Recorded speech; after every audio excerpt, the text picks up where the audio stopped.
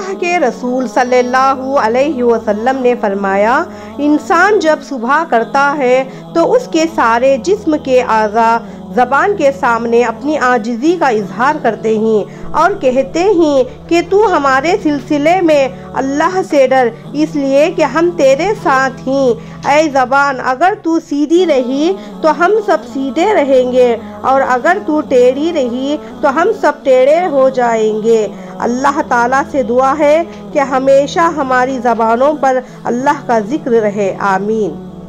کتنے ایسے جاہل ہی جن کی عاجزی و انکساری نے ان کی جہالت کو چھپا لیا۔ اور کتنے ایسے ہیں جو اپنے علم میں ممتاز ہیں، لیکن تکبر نے ان کے مقام کو تباہ و برباد کر دیا۔ یاد رکھو، تکبر کرنے والا شخص اس پرندے کی طرح ہے۔ جو آسمان پر جتنی اوپر جائے، لوگوں کو اتنا ہی چھوٹا نظر آتا ہے۔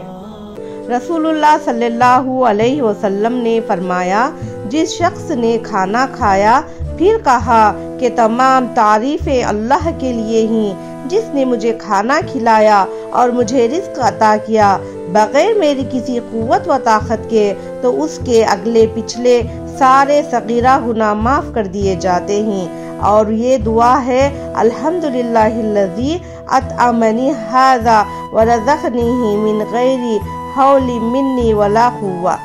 جب بھی مصیبت و پریشانی آئے تو اس وقت صبر کرنا چاہیے۔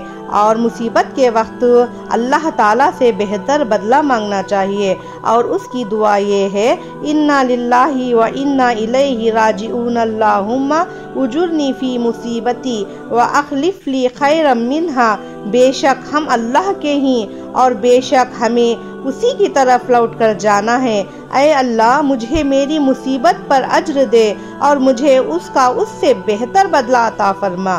آمین۔ جو شخص قرآن مجید کی تعلیمات پر مضبوطی سے جمع رہے گا، وہ ہر دور میں گمراہیوں سے محفوظ رہے گا۔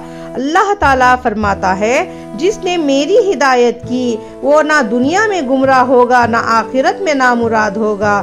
اور نبی کریم صلی اللہ علیہ وسلم نے ارشاد فرمایا قرآن مجید کا ایک سرا اللہ تعالیٰ کے ہاتھ میں ہے اور دوسرا سرا تمہارے ہاتھ میں۔ اسے تھامے رکھو گے تو کبھی گمراہ ہوگے نہ ہلاک ہوگے۔